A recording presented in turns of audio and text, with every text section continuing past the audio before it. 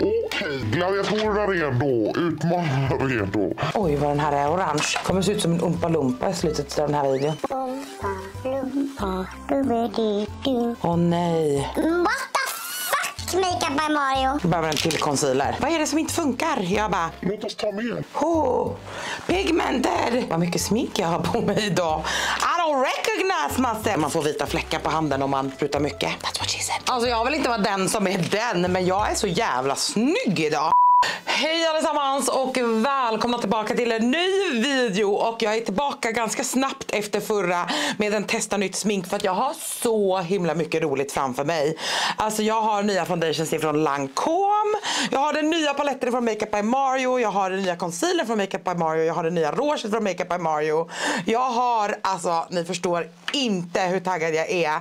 Isadora har inte omformulerat, tror jag, utan gjort om förpackningarna på sina contour stick. Jag har nya brynpennor från Depend. Alltså, you name it, I have it. Alltså, jag har så mycket. Jag har lite Kylie Cosmetics, jag har lite Bobby Brown. I'm so excited. Så jag hoppas att ni är taggade på dagens video. Det blir alltså en testa nytt smink och vi ska se om det finns några saker som duger. Så om ni är redo så är jag redo. Låt oss hoppa in i dagens testa nytt smink. Jag vill också säga det här nu innan jag börjar att ni får jättegärna trycka på prenumerationsknappen. Om du inte har gjort det än, det betyder jättemycket för mig om om du vill stanna kvar här på min kanal. Jag gör ju massor av skönhetscontent året om och jag hoppas att ni är taggade på att vara med. Nu ska vi börja. Jag ska göra ögonen först men jag ska preppa huden lite grann. Eh, alltså jag har en ny produkt ifrån Bobby Brown. Jag tror att ni liksom inte kommer bli chockade men Bobby Brown som är ett av världens mest så här, sålda sminkmärken har släppt en vitamin enriched smoothing serum och jag har även fått deras vitamin enriched eye base och deras vitamin enriched face base och face basen är en av mina mest älskade produkter. Jag har inte haft den på ganska länge och blev så glad när det dök upp av att jag såg de här eh, produkterna. Så jag tänkte att vi skulle börja med serumet. Så här ser ju då själva facebasen ut. Ni har säkert sett den tusen gånger och det här är eyebasen. Och så här ser serumet ut. Alltså det är så himla classy verkligen. Så jag tänker att vi ska börja med den. Jag har gjort min hudvård idag men det är några timmar sedan. Så jag börjar med att preppa om min hud så att sminket sitter riktigt bra hela dagen alla de här produkterna från Bobbi Brown luktar ganska mycket citrus och facebasen är ju verkligen känd för sin doft kan jag säga. Så om du är jätteanti parfym i ansiktet så är de här inte för dig. Men det försvinner också väldigt, väldigt fort kan jag säga. Det här serumet är väldigt, väldigt rikt. Väldigt så här typ tjockt men ändå inte, det känns inte så oljigt direkt utan det är mer, ja vad ska man säga, det är mer mm, rikt som sagt och inte direkt oljigt. I do really like it actually. Den har då lite saker som heter Hydra Glow Fruit eh, Complex i men den har också niacinamid. Jag skulle säga att det är en väldigt stärkande och återfuktande produkt som jag tror kommer vara jätte, jättefin under smink. Eyebasen har jag testat. Vi ska se om jag har kladdig om fingrarna. Jag har en liten handduk. Eh, Eyebasen dock har jag inte använt alls lika mycket som, uh, som facebasen. Men jag har testat den förut. Det är bara väldigt, väldigt länge sedan. Så jag lägger lite ögonkräm. Inte alldeles för mycket för att jag ska ju alldeles strax gå på med makeup. Eh, jag älskar inte, eller jag gillar ögonkräm som koncept. Men jag upplever själv att det kan vara så att sminket glider runt lite väl mycket. Om man är för återfuktad under eller runt ögat. Men jag vet att de här också är speciellt framtagna för att passa bra under smink. Så I'm not angry about it. Men facebasen är ju, alltså den här är ju otrolig. Alltså det har varit en, alltså om ni har tittat på mina videor sedan väldigt länge, vilket vilket jag vet att många av er har gjort, så vet ni att jag har alltid älskat den här. Jag tycker att det är en sjukt trevlig produkt. Och den här är ju typ lite primer-ish. Alltså det är inte en eh, eh, liksom renodlad primer, men det här som sagt, förberedande steget innan smink är så himla viktigt för alla. Men speciellt för mig som är lite torrare så slipper jag se torr ut. Och foundationen som vi ska använda som är Tainted Doll Ultra Wear. Det är en sån här long wear super, vad ska man säga, foundation som ska sitta fint hela, hela dagen. Så därför så är det viktigt att återfukta ordentligt. Jag låter de här sjunka in. Älskar facebasen. I can't stress that enough. Ole Henriksen har släppt de här Pout Preserve Peptide Lip Treatment och jag tänkte att jag skulle ha den här under mina läppprodukter som en, ja, men ett läppbalsam helt enkelt. Och det här är i färgen, jag köpte den här på Sephora och det var den, vad ska man säga, smaken, färgen, whatever som fanns. Och det här är inget mindre än Orange Spritz. Och jag vet att min vän Natasha som ni mycket väl känner till, hon älskar den här. Jag tror inte att det är den här typ smaken eller så som hon har haft utan hon har haft en annan. Men de är lite lite färgade och ska tydligen vara jättetrevliga även typ under dagen. Men jag kommer använda den som en... Gud, det smakar verkligen typ blodapelsin. Doftar det menar jag. Ingen direkt smak. Så jag preppar mina läppar. Fin fräsch färg, men inte för mycket så man kan lätt ha den typ på kvällar och sånt utan att man känner att det guckar av överallt. Mm. Blood Orange Spritz. Jag har lite nya penslar. De här har legat hemma väldigt länge. Det här är från ett märke som heter Swatty och det är ett eh, svenskt märke. Eh, och Swatty är ju en väldigt känd eh, influencer och hon eh, har ju släppt massa, framförallt så är de väldigt kända du vet, för sina färgade linser. Men de har smink och sånt, jag har testat ganska mycket på kanalen tidigare. Men det här borstkittet då som jag har här, oj vad fina, har jag haft här hemma väldigt väldigt länge och inte testat. Så idag bara kände jag, idag är dagen. Jag känner verkligen att 2024, jag ska bara ta bort allt det här plastet, är året som jag ska, oj vad tunga de var. Alltså de känns väldigt lyxiga. Eh, oj vilka bra penslar. Lite korta för min smak skulle jag säga. Jag gillar långa skaft. Men de ser väldigt bra ut. Vi har stort och fluffigt. Vi har små till underögat. Vi har snedskuren. Vi har platt. Så det är de här penslarna som jag tänker att vi ska använda till eh, ögonsminket. Och de har både ett nummer och vad de är till för något. Och jag vill verkligen säga det att i år så är eh, liksom året jag ska testa massor av penslar som jag inte har testat innan. Jag älskar ju flair, jag älskar hiccup, jag älskar eh, makeup store, jag älskar så mycket penslar, sigma. Men jag vill bara branscha ut lite och testa lite andra saker. Så det här är penselkittet då som vi ska använda på ögonen.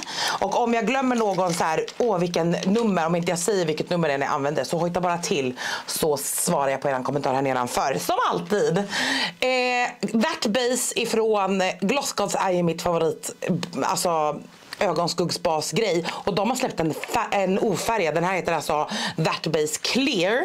Och eh, den ser lite vit ut. Jag tjuvkikade på förpackningen innan. Den ser lite vit ut men den ska alltså vara helt clear på ögonen. Och det är min absoluta favoritbas. Alltså jag ska se, jag har nog här. Den färgade som jag brukar ha är ju ungefär min hudton. Men det här är alltså en helt genomskinlig. Och jag tror att det kommer bli perfekt till den här Makeup by Mario paletten som jag ska använda. Och jag eh, vet att många av er inte älskar den här, ni vet, eh, vad ska man säga, färgade tinten. Det är verkligen, jag tar den platta penseln, det här är alltså 06 ifrån Swatty. Eh, jag vet att många gillar att använda genomskinlig ögonskuggsbas, speciellt när man eh, inte ska ha så mycket smink eller som idag där jag tänkte göra en matt sotning liksom. Ska se här hur den känns. Jag gillar penseln direkt kan jag säga men jag föredrar ändå lite längre skaft på mina penslar. Alltså jag kan inte säga riktigt varför jag gör det men jag, jag gör det i alla fall. Swat är i alla fall allt jag har testat ifrån dem. Och jag vill säga att jag inte har testat linserna för att jag är lite lite rädd för linser. Så allt jag har testat ifrån Swatty har jag typ tyckt om. Jag tycker att det är ett jättetrevligt märke. De har inte super, super stort sortiment men ögonskuggspaletterna bland annat som är superhärliga och färger och allting är fantastiska.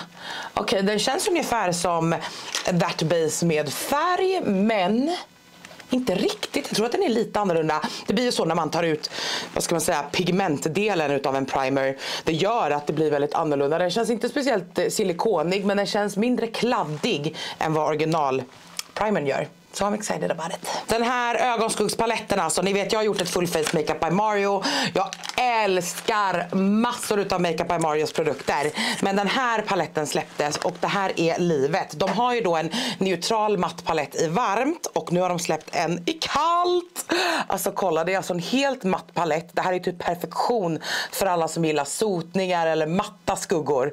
Och jag älskar formulan på den varma och jag har redan sett recensioner på det här. Jag brukar hålla mig borta men jag kunde inte låta bli. Jag var så taggad. Och det här är alltså den eh, kalla varianten. Jag skulle säga att den är neutral snarare än kall. Den har den här gråa och så men de beiga färgerna är fortfarande relativt neutrala. Och inte jätte, jätte kalla. Det är bara en grå och en svart svart.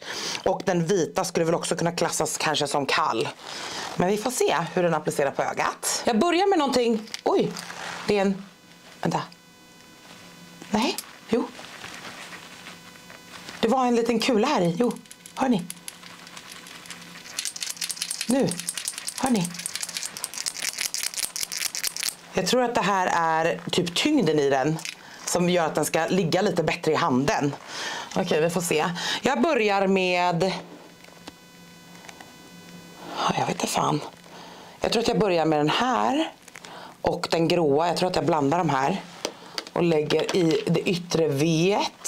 Okej, jag kan säga att ögonskuggsbasen är inte exakt samma som de färgade. Det kan jag säga rakt av. Jag använder den varje dag i mitt liv typ. Om inte jag testar någonting nytt. Det är min absoluta favorit. Den här är lite mer en klassisk eh, ögonskuggsbas. Undrar om den här kommer passa lite bättre om man har väldigt, väldigt oljiga lock. Kanske, gud vad jag stämmer på det här. Att den är, det är som en kulspetspenna, inte alls skönt i handen. Man känner också hur vikten flyttar sig. Är de andra så? Jag tror att vikten i den här har släppt liksom. Okej, okay, vi lägger mörkt här ute. Jag tänkte att jag skulle ha en eyeliner till det här också så jag ska tänka på det när jag applicerar. Men ögonskuggsbasen är inte exakt samma utan jag tror att det här kommer vara en ögonskuggsbas för er som är lite lite oljigare faktiskt på locken. Om ni brukar liksom se att det lägger sig i glups liksom på locket så tror jag att ni kommer gilla den här genomskinliga bättre. Jag vänder på den lite så att jag kan blända kanten lite grann. Jättefin färg hörni. Jag går över till nästa pensel. Inte den, den, största fluffiga låter jag vara. Jag tar ett steg till. Det här är Precise Crease i 03. De är lite pudriga, ingen katastrof. Det är matta skuggor. Men det är också det som gör att de liksom glider fint på ögat. Jag tror att jag tar den här färgen. De har bara namn, du vet så här, MN, N, M2, MN3, MN4 och så vidare. Så jag skiter i att säga färg, jag visar istället. Och sen lägger jag den här precis över. Ah, de är bara en centimeter för korta för mina relativt stora händer. Om ni aldrig stör er på att penslarna sticker iväg, förstår ni, på på handen så här ser ni att jag vill att den ska ligga här emot. Jag måste hålla ganska nära för att det ska ske. Jag gillar att hålla ganska långt ut och då blir det, det blir inte så bra. Det är inte så ergonomiskt bra. Eh, så jag måste säga att det direkt är en mini-grej. De känns väldigt bra, alltså själva eh, typ på locket och så. Jag bara föredrar den längre. Ögonskuggorna är superfina so far. Jag ångrar mig och går in med den här största som heter 01 Soft Crease och bara bländar alla längst upp för att mjuka till den. Åh, blända som en dröm den här ögonskuggspaletten. Den svarta är otroligt pigmenterad. Alltså otroligt. En av de mest svarta skuggorna jag någonsin har sett. Jag hoppar in i 08 och så går jag in i lite i de där skuggorna som jag använde förut. Lite mer utav den gråa än den bruna bara för att jag vill ha det här riktigt, riktigt kalla. Och sen så bländar jag eh, den här svarta skuggan. Och jag måste säga det, som sagt den här svarta skuggan är kanske den svartaste skuggan jag har testat i alla fall på riktigt länge. länge. Det finns några riktigt vassa svarta skuggor på marknaden men den här är Ja, den här är vass alltså. Gud vad min tröja låter när jag rör mig. It is what it is. Det tar emot att säga det för jag älskar Glossgals men jag tror inte att den här ögonskuggsprimen är för mig faktiskt. Alltså jag, jag förstår tanken och jag förstår att det kanske är mot en marknad som inte är riktigt jag. Förstår ni? För jag älskar ju redan deras färgade ögonskuggsbaser och jag är generellt inte ett så stort fan av ofärgade ögonskuggsbaser utan om jag, inte, om jag har det eller typ bara concealer så tar jag typ oftast hellre concealer för att jag gillar den looken liksom lite bättre eller vad man ska säga. Eh, jag tycker att det ser lite fläckigt ut. Det är också för att jag har ganska mycket pigmenteringar på mina ögonlock naturligt. Så det ser liksom fläckigt ut så. Men jag tror att det kommer bli bra när vi är färdiga. Jag tar 02 och sen så kommer jag gå in med den här ljusaste, ljusaste, nästan vita. Beigea. Blåser av lite grann så att vi inte får överallt. Och sen lägger jag den här inne och bländar utåt. Jag vill ha ljusast längst in. Här liksom. Och sen jobbar jag den utåt. Oh, äh, så pigmenterad. Det är svårt att få en så här ljus skugga och vara så här pigmenterad kan jag säga. Det klarar inte vilket märke som helst av. De blir ofta fläckiga eller fläckiga eller eh, De går inte att blända. Men otrolig ljus faktiskt. Hittills så är ju den ljusa och den svarta 10 av 10 skuggor, det kan jag säga med all min erfarenhet direkt. Jag gillar alla penslarna egentligen, men det saknas en typ av pensel. Och det är typ en så här, vi ska se om jag kan gräva fram någon här i min lilla håla. Det är typ en så här, ser ni? Att det här är en stor blending brush. Det här är 38 från Sigma. Det finns ingen som är stor nog för att blända, så jag tänker faktiskt komplettera med det. Eh, se till att den är helt ren, jag har ingen produkt. Och sen så börjar jag längst in där det ljusast är. Så att det verkligen är bländat. Och sen så går jag utåt i kanterna. Så att det blir mjukt. Det ska inte vara några hårda kanter någonstans. Den minsta lilla penseln som jag sen det är 05 Smudger. Den bländar jag lite med den här svarta som är inåt i ögat. Eh, jag ska ju som sagt lägga en flytande eyeliner också. Mest för att jag har en som jag är hella taggad på att testa. Okej, okay, jag gillar verkligen ögonskuggspaletten. Den är ljuvlig på alla sätt och vis. Jag kommer att lägga lite mörkt under ögat också. Jag skulle ha en svart kajalpenna ska jag se om jag kan riva fram en. För jag skulle vilja ha svart i ögat på något vis. Men vi får se. Eh, innan jag går och bara fixar fransarna lite fort så vill jag också lägga lite flytande. Och den här har fått så bra betyg så jag var tvungen att klicka hem den. Det här är alltså by Lyko. Det är alltså Lykos egna märke. Deras inhouse-märke liksom. Och den heter, jag ska bara se om jag kan hitta flörpen på den här. Den heter Wing Woman Love That Liquid Liner. Alltså älskar. jag hatar egentligen när smink är könsbestämt men jag tycker bara det är någonting roligt med det. Wing Woman istället för Wingman liksom. I love that. Okej. Okay. Det här är en liten, det är en väldigt trevlig spets men det är en sån här, eh, det är inte hårstrån utan det är liksom som en liten svamp eller vad man ska säga i slutet av den här. Det som jag tycker illa om en sån typ av eyeliner är att det ofta torkar ut lite grann innan eh, jag har hunnit göra båda ögonen. Jag gör då en relativt smal eyeliner längs hela min fransrad. Jag vill inte ta bort ifrån det sotade, jag vill bara ha det extra mörkt ner till superpigmenterat, väldigt svart. Och sen så går jag då inte hela vägen. Den är väldigt spetsig också ska jag säga. Om den här håller sig spetsig om några veckor och den här sitter bra, då har vi en juvel på i våra händer. Och den här är så billig. Jag tror att jag betalade, jag vet inte, jag gissar 129 spänn typ. Svinfin vid första applikation. Vi får se vad, vad det blir när vi har applicerat klart. Om den hinner torka ut. Man kan utan problem göra med en ny sån här i alla fall, båda ögonen utan att man behöver liksom skaka liv i den här igen. Inga problem.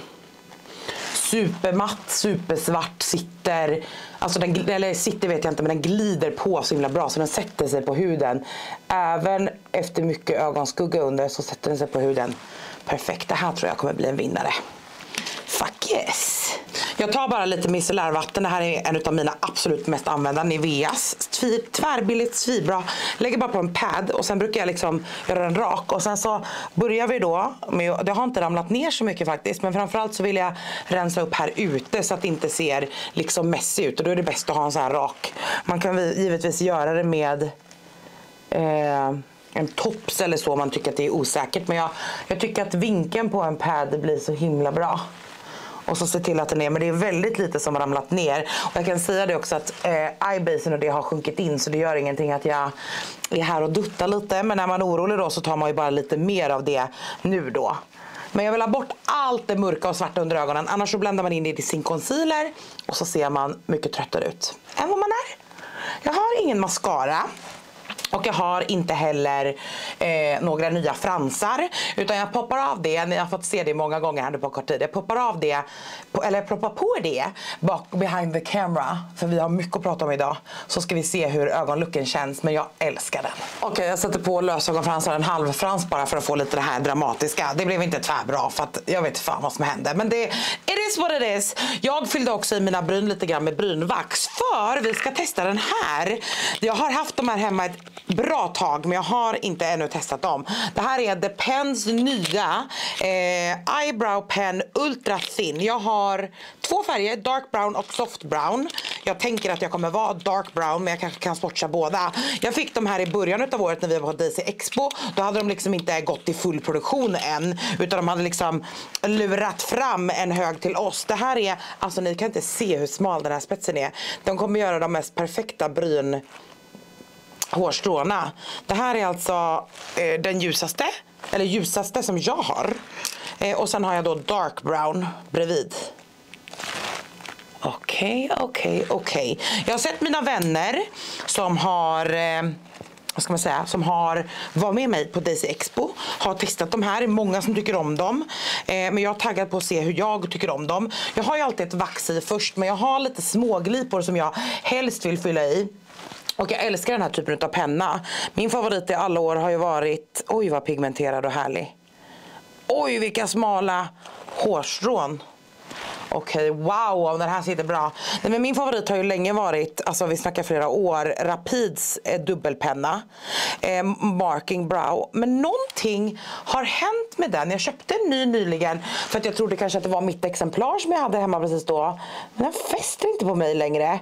Och då, det säger jag som någon som har liksom använt den här jävla brynpennan i, jag vet inte, tre år sträck liksom. Jag kan säga att den här färgen var inte perfekt på mig. Frågan är om jag kan mjuka upp den lite genom att använda. För att undertonen på den andra var lite, lite bättre. Men jag är rädd att den är lite för ljus. Jag kanske kan, kan eh,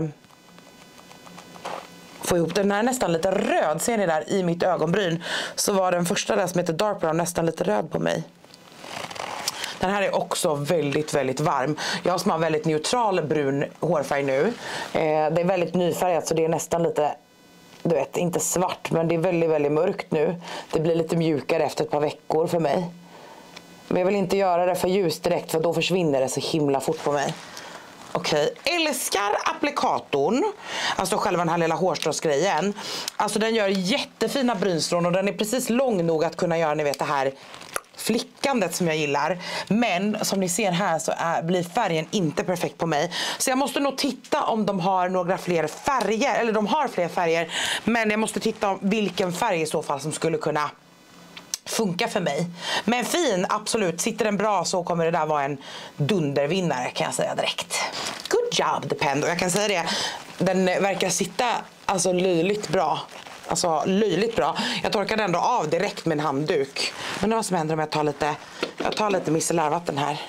Jo då, den går bort men den satt verkligen hårt när den var torr liksom. Okej, okay, okej. Okay. Ja, ni ser här, ser ni, det blir nästan lite lila på min handduk. Och det är lite den viben jag får i brynen också, vilket är synd. Jag hoppas att det finns en bättre färg för mig. Okej. Okay. Gladiatorerna redo, utmanarna redo. Ögonen är färdiga förutom att jag ska bara lägga lite, lite mörkt längst under. Men vi ska hoppa vidare till basen. Min bas, jag vet redan att jag älskar Facebaseen från eh, Bobby Brown, men det känns väldigt bra. Läppbalsamet är fortfarande kvar på läpparna.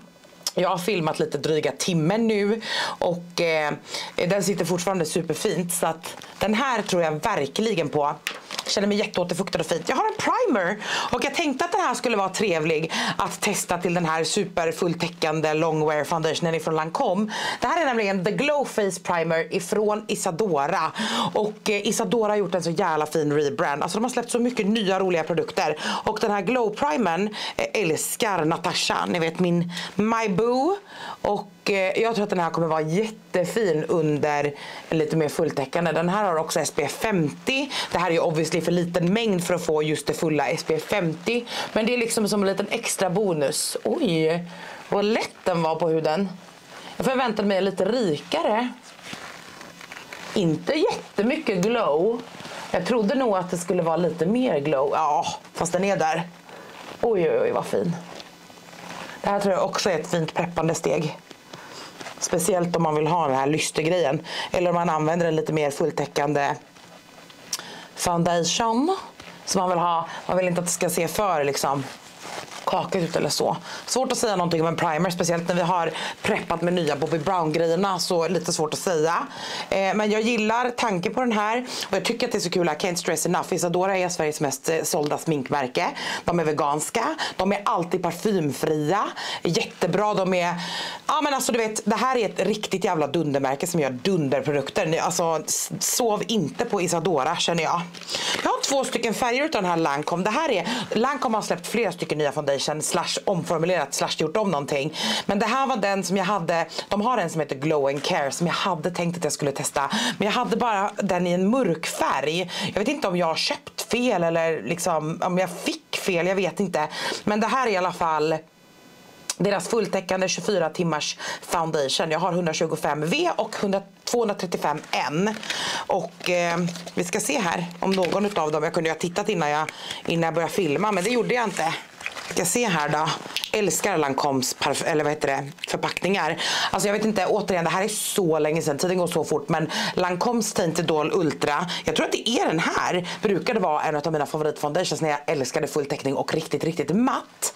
Men de har kanske formulerat om dem så jag skiter i det. Men jag har inte använt den på väldigt länge. Det här var 235 n. Den här är nog bra. Jag sprutar ut lite av den varma också ser. Oj, det var väldigt litet hopp mellan dem. Jag ska se här hur 235 n. Ja, den här är bra. Jag kör 235 n. Eh, det som har varit riktigt dåligt med Tainted Doll Ultran tidigare det är att den har haft en så fruktansvärt stark eh, fruktansvärt stark rosdoft typ. Det här luktar fortfarande typ smink men det, jag tror inte att det är någon tillsatt doft utan den, den, doftar smink. Lite lite starkt men någonting säger mig att det kommer försvinna vid applikation för, fort. En av mina foundationborstar, favoritborstar eh, i foundationväg och där är 106 ifrån Flair. Full täckning vet fanken.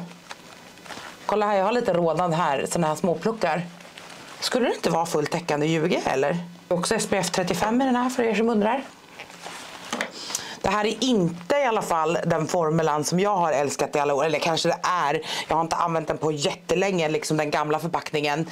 Eh, och jag har egentligen inget bra svar på varför. Jag tror bara att jag ändrade preferens. Ni vet att jag är ju en... Jag älskar ju skintints och sånt numera väldigt mycket. Men den har ju en fin teckning. Färgen är fin. Det är dock en neutral färg. Jag tycker inte att den är speciellt neutral. Utan jag tycker att den är eh, gul snarare. Den är inte supermatt. Notera att jag har både en glow primer och jag har preppat huden med rika återfuktande produkter som också ger glow i sig. Om man inte gör de sakerna så kan jag säga direkt att den här skulle vara mattare. Superlätt att jobba med. Fin okej okay färg för mig. Eh, Ja, shit, den här är fin alltså. Den är riktigt, riktigt vass. Lägger sig inte direkt i mina torrfläckar, ni vet runt mun och näsa och så. Där jag alltid klagar på att jag har torrfläckar. Vad tycker ni om den här? Jag tycker att den ser jättefin ut. Vi filmar ju ändå 4K så att You should see if it looks good or not. Jag gillar den verkligen. Perfekt färg faktiskt nu mer jag tittar. Den är riktigt, riktigt fin färgmatch. Lite på min hand så ser den lite orange ut men jag är också ljusast om händerna eftersom man tvättar dem så himla mycket oftare än ansiktet. Spännande Lancome, spännande!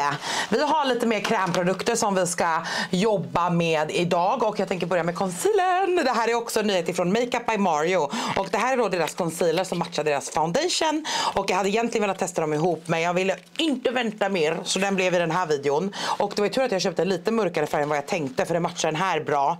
Det här är alltså deras Surreal Skin Awakening Concealer i färgen, åh oh nej, jo, 220. Och jag älskar ju foundationen. Alltså den är ljuvlig. Och jag tar också, jag går bara i en gång. Men jag tar ändå ganska mycket.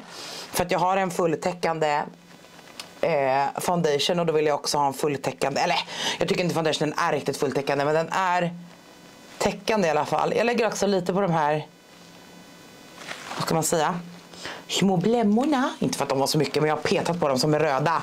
Eh, jag får definitivt kanske, om jag älskar den här så kommer jag få köpa en lite ljusare färg. För att den här kommer vara alldeles för mörk för min Makeup by Mario färg. Tonen är också, nu kommer jag inte ihåg vad den, vad den här skulle vara för ton, men tonen är orange. Och det ser ännu mer ut så ska jag säga för att jag har kallt på ögonen. Men jag har ju en neutral underton. Mm. Wow. Jag vet att jag såg, nu såg jag så här uh, ut men alltså wow vilken teckning. Som sagt nu tog jag en hel. Jag tror jag måste ha en lite mindre pensel. När den var använd. Uh, hatar att använda penslar två gånger. Jag tar bara en fluffig pensel. Jag vill komma in hela vägen här till det här så att det bländar in i ögonskuggan. Oj vad den här är orange. Ser ni vad den har oxiderat eller? Kolla här vad den oxiderar. Åh oh, herregud. Kommer se ut som en umpa lumpa i slutet av den här videon.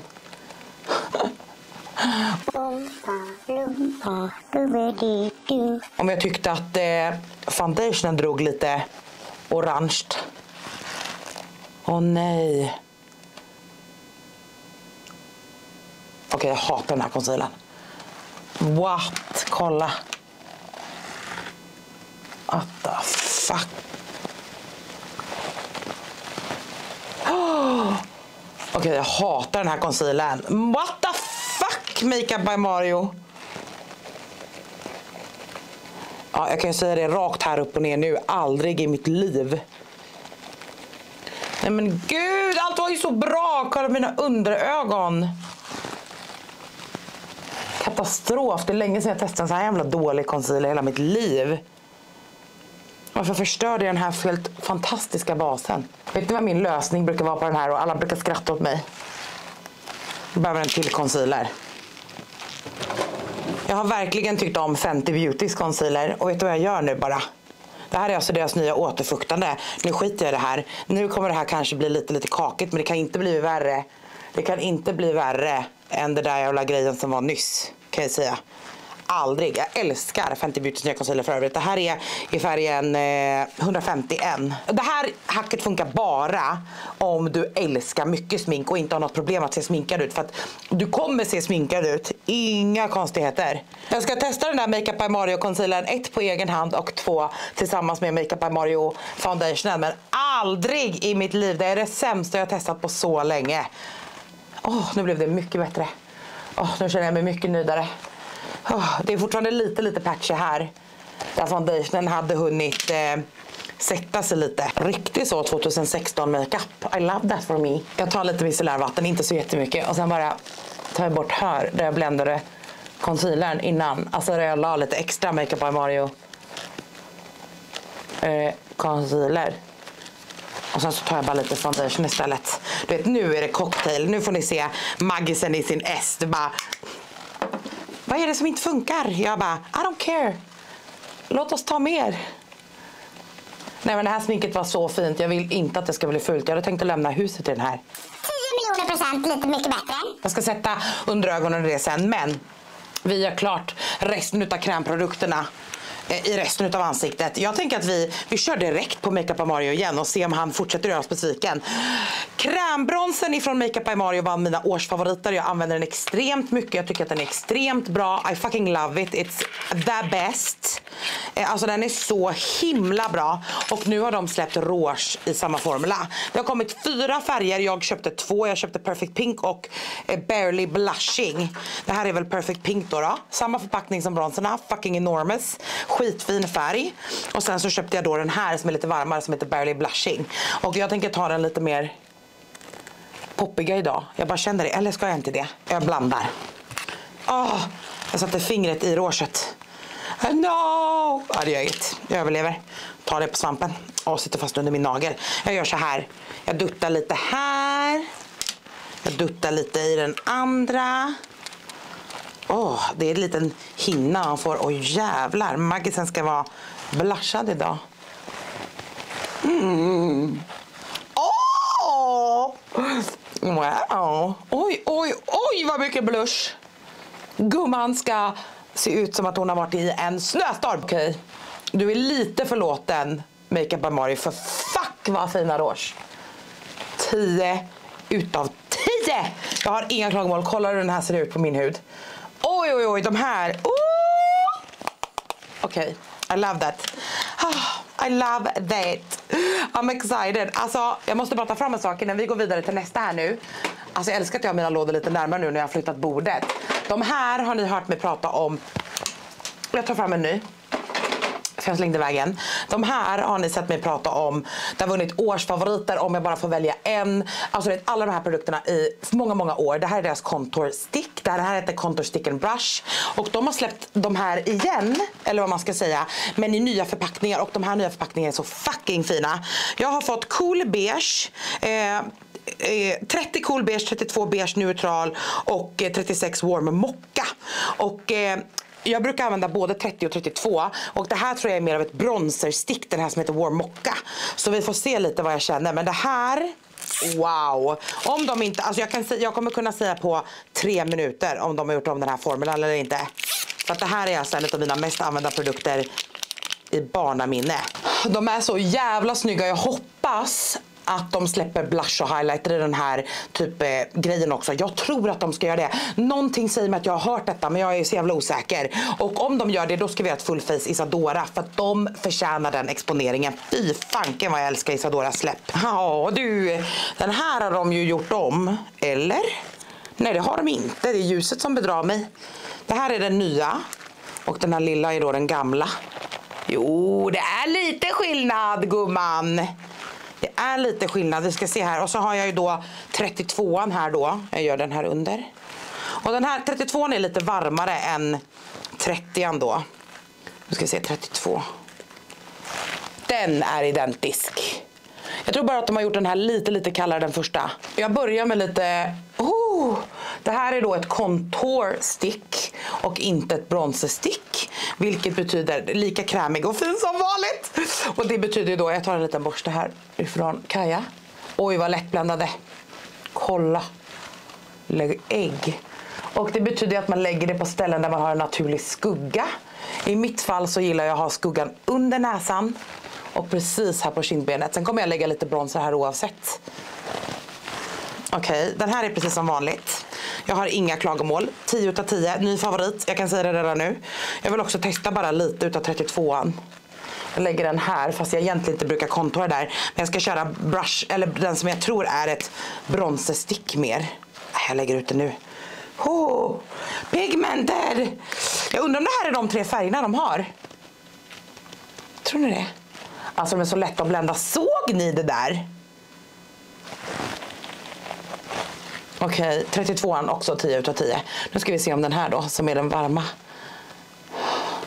Om det funkar bra. Den ser lite mörk ut för mig, men mycket bättre underton för bronser liksom. Jag ska nog ha så stort område där. Jag, tar, jag har rouge på ena sidan så jag tar den här platta och ser om jag kan lite snabbare blanda när det var ett lite större område. Mm, den här färgen är inte 10 utav 10 för mig. Alltså jag vet inte riktigt vad jag ska förklara för någon som inte bryr sig tänkte jag säga. Men ni bryr er väl för ni tittar ju. Eh, men den här färgen är lite, lite för röd i tonen för mig. Men jag vet inte, jag fick de här tre utav Isadora. De har precis, precis när jag spelade in den här släppts. Så jag vet inte säkert om det inte finns fler färger. Formulan är det absolut inget fel på. Jag älskar contour liksom färgerna. Sticket är fantastiskt. Det är bara det att den här, jag blir inte 100% nöjd för att jag tror att jag ska ta lite utav 32an i pannan också. Så att jag inte ser så röd ut. Men jag får liksom blanda ihop dem lite annars kommer jag se ut som en crazy person. Ja, det blir ju direkt bättre. när den blir lite kallare. Den där var lite, lite för röd för min smak. Warm mocka. Men det kanske finns en till färg emellan. Oj, vad djur. Alltså de är så lätta att blända. Även uppe på den här satta, ganska matta, inte supermatta men ganska matta foundationen. Okej, okay. come through Isadora. Yeah. Jag vill också säga det att egentligen innan Makeup by Mario, alltså jag hade gjort i ordning den här videon och sen var jag handlade om den Makeup by Mario, så hade jag tänkt att testa de här också ifrån Lancome. Det här är deras Tint Idol och det jag har fått de här ifrån Lancome faktiskt. Det är två stycken rouge och två stycken highlighters. Och nu kan inte jag testa rougen då efter, oj jag pekade på fel, förlåt. Två stycken rouge, två stycken highlighters, en mörk och en. Och jag hade ju då tänkt att jag skulle använt rougen men I'm sorry, Makeup by Mario för, gjorde innan, oj. Oj, vad fin. De här kan man då ha både på ögon och på kinder och så. Och jag tänker använda den här som en highlight. Jag tror jag tar ut det lite på, på här och sen tror jag att jag pressar in den här.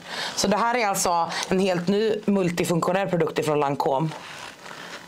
Fin produkt men jag har redan så mycket lyster att det blir liksom inte boom boom. Dock fatta vad fin den här skulle vara på ögonen. Kanske får göra en liten, eh, väldigt lätt att jobba med, väldigt fint, torkar ner ganska fort. Och det är ju bra om det ska användas på ögonen. Wow, vad mycket smink jag har på mig idag. I don't recognize myself. Jag vet inte, jag får återkomma om de här tror jag. Jag känner inte att jag riktigt har en åsikt om jag ska vara ärlig. Det händer aldrig. Hur mår du Margareta? Alla krämprodukter på ansiktet är färdigt eller? Jag tror det. Innan jag pudrar lite så känner jag att jag behöver mista lite grann.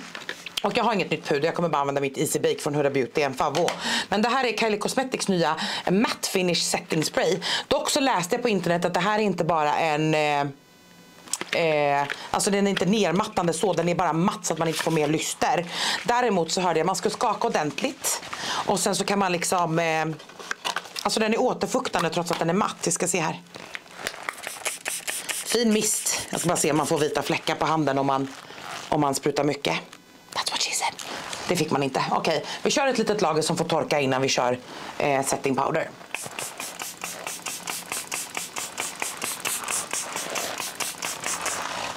Oh. Luktar inte så mycket alkohol. Oklart om det är alkohol i den ens. Eh, jo då. Andra ingrediensen. Vatten först, alkohol sen. Okej, okay, vi ska se om den mattar ner mycket då. Jag låter det helt torka. Jag har en liten... Och så har jag en liten fläkt här. Som jag kan torka mig med. Och så syns det strax. Alltså jag vet inte om ni såg det där men jag är fan mycket mattare än vad jag var för några sekunder sedan innan den här torkade. Alltså mycket mattare. Spännande att se om jag kommer känna mig liksom ha, torr och stram utav den här. Vi ska se. Men jag bara sätter mina underögon framförallt, eh, liksom mitten utav ansiktet precis med Huda Beauty, i, Huda Beauty Easy Bake Powder. Jag älskar pressade puder och jag älskar det här pudret ifrån Huda Beauty. Det är ett utav mina absoluta favoriter. Så jag laddar upp puffen, Eh, skakar av lite och sätter bara mina underögon. Och sen sätter vi lite mer med den här settingsprayen. Jag ska se om jag känner mig uttorkad, därför måste vi ha mycket på ansiktet. En sån här settingspray med mycket alkohol, använd inte den varje dag. Det kommer att torka ut huden lite grann. Men ni kan använda den jag vet inte, varannan dag, whatever. Det beror lite på hur mycket ni återfuktar huden och så. Men en sån här alkohol med, med en sån här alkohol, en sån, skål. En sån här sättningsspray med mycket alkohol kan absolut torka ut huden om du inte tar hand om huden. Jag låter det torka ner lite mer exakt. Och så då gör jag bara lite, lite av det bruna som jag har här, brunsvarta precis under ögat. Innan vi gör läpparna som jag är så taggad på. Alltså jag vill inte vara den som är den, men jag är så jävla snygg idag. Alltså, jag har redan fuskat med läppglansen för jag var tvungen att swatcha dem. Ni har säkert kanske om ni följer med på Instagram redan sett när jag swatchade, eller på TikTok för jag la ut den där också, Huda Beautys nya Faux Filter Lip Gloss. Men jag bara swatchade dem då för att jag ville se de olika färgerna. Idag ska jag faktiskt testa den ordentligt, utvärdera lite hur den känns och så. Och eh, när jag fick dem här, för att jag är numera på Huda Beautys PR lista. I'm so excited about jag älskar Huda Beauty, så har jag också fått sex stycken eh, utav deras läpppennor. Och jag tror att jag vill ha en eh, Bombshell Pinky Brown. Jag ska se, jag tar bara ut den här som jag trodde. Jag har alltså fått Muted Pink, Warm Brown, Rich Brown, Terracotta, Rose Deep och Bombshell Pinky Brown. Jag vill säga att jag har testat några utav Huda Beautys läpppennor eh, innan. Men det är inte många. Det är alltså läpparna. Oj. Min favorittyp av läpppenna är ju ni vet en sån här eh, Eh, träpenna som är ganska vaxig. Jag tycker att de, jag vet inte om det är vanans makt men jag tycker liksom att de sitter bäst. Det här är en sån här ni vet som är väldigt krämig och gelig. Du kan använda över hela läppen och så vidare. Och sen torkar den ner. Jag gillar det, det är inte det. Det är bara att jag föredrar nästan alltid en träpenna. Oj, jag målar lite här borta. Hur tycker du att det gick Margareta? Jättefin färg, jag tror att jag behåller den här. Och sen bländar jag lite grann med fingret. De här läppglansen då som är den nya produkten från Huda Beauty heter alltså Faux Filter Lip Gloss. Kommer i eh, bruna nyanser, rosa nyanser och en genomskinlig. Jag tror att jag vill ha en ganska kall. Vi ska se här. Ganska kall, inte för ljus. Kanske den här. Det här är Porsche. Jag tyckte om den här på mig själv tror jag. Och nu ska jag visa, jag ska skrapa av först på båda sidorna så att ni får se applikatorn. Men den ser alltså ut så här. Ser ni? Den är som en skopa på båda sidan. Man får upp skitmycket produkt. Det här är ganska pigmenterade och ganska tjocka gloss som gör att de kommer sitta så länge på läpparna för att vara ett gloss då. Ja, den här tar vi. Åh! Dödlig kombination. Ursäkta mig. Alltså den här var så fin kombination. Okej, okay, tillåt mig att bli överväldigad en minut. Jag ska släppa ut håret och sen sammanfattar vi. Alltså jag vet att läpparna heter Bombshell, men jag är ett fucking bombshell alltså. Det här, var, det här är en av mina favoritlooks jag gjort på riktigt länge. Så vass läpp, så vass bas. Eh, Älskar, tack att vi klarade oss igenom den stora Makeup by Mario concealer-krisen av 2024. Det är den produkten som jag skulle slänga åt fanders. Jag ska testa någonting mer men jag är ungefär lika sugen som, eh, jag vet inte, jag vet inte. Det finns ingenting som jag är så lite sugen på som att testa den igen. Men jag ska. Så taggad på Isadora Stixen. Basen är jättefin tycker jag. Den ser lite lite kakig ut så här men det är ärligt talat inte basens fel. Hade jag, skulle jag ha sminkat mig för typ för, jag vet inte, gå ut på krogen om jag nu någonsin gör det numera. Men då hade jag tagit bort concealerområdet och liksom gjort om. Men jag tycker att det ser riktigt bra ut. Det ser hela 2016 full glam ut. Jag älskar ögonskuggspaletten paletten. Alltså då pratar jag, jag älskar. Jag tycker att penslarna från Swatty är bra. Förutom att jag stör mig på det här. Eh, de är också lite, lite korta. Det är väl den liksom så stora kritiken. De här känner jag att jag inte riktigt har en åsikt om. Jag får eh, kolla på det. Men jag gillar verkligen att de är multifunktionella. Jag ser fram emot vad Isadora har i liksom, pipelinen. Vill ni se ett fullface Isadora, Isadora? Eller bara jag som är astaggad på det? I'm excited to eh, know what you think. Jag hoppas att ni har gillat den här videon.